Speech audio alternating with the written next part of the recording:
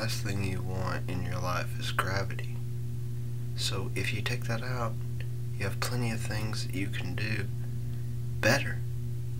Think of all the things that gravity burdens us with weight, speed, all that stuff. If we can just find a way to get out of the gravity, we'll have complete freedom to roam the universe any way that we please.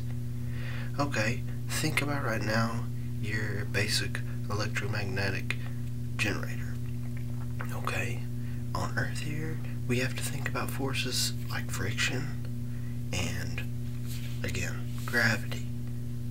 But if it were in outer space where there is no gravity, where there's less, there's less influence from this body, like we have down here on this Earth, the friction would be less, making the electric current generated much more.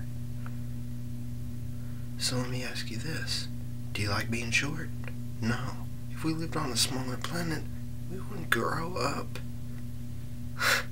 it's as simple as that. And when we grow up, that means taller.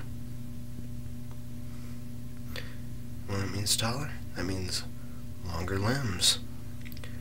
When we get taller, that means we have a more advanced civilization. Whenever we're able to create more electricity, whenever our bodies aren't even affected by gravity, whenever we realize that gravity is the devil, and it's just trying to pin us down here on the earth with its horns. Stop it! Stop it! But I do want to thank gravity for um, making things go quick and um, for fire.